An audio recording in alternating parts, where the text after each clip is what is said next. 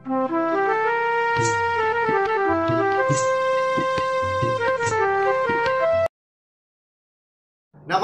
મિત્રો ઋષિ ચિંતન ચેનલમાં આપનું હાર્દિક સ્વાગત કરવામાં આવે છે. આજનો વિષય છે, સમસ્યાનું સમાધાન ઋષિ ચિંતનથી સમસ્યા, આપણી ચારે બાજુ પ્રિય પરિસ્થિતિઓ જ રહે છે. એવી સ્વર્ગના અનુભૂતિ શું આ જીવનમાં થઈ શકે?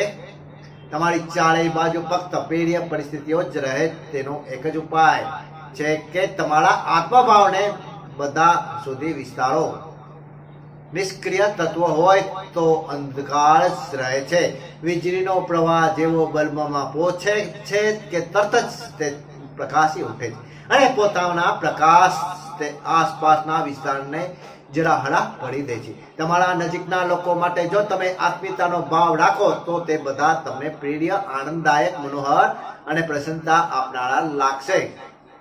કોળોધ ચીડિયાપણું દ્રેશ, દ્રોણા વગેરેને જ્વાળાઓ રાત દિવસ મનમાં સરકતી રહે છે અને લોહી બાળતી રહે છે. તે આપોઆપ શાંત થઈ જશે.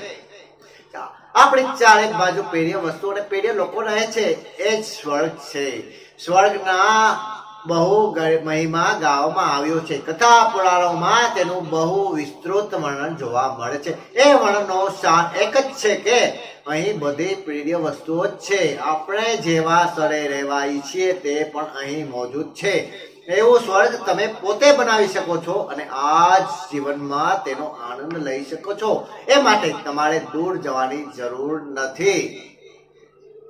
તમે જ્યાં રહો છો ત્યાં સ્વર્ગ બનાવી શકો છો. શું તમે ખરેખર એવું ઈચ્છો છો?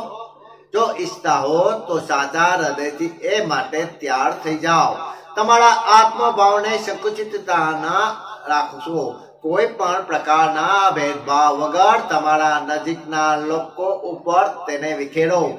તમારા આત્મભાવનો સ્પર્શ થતા જ બધા સંબંધીઓ પ્રેમ પાત્ર બની જશે.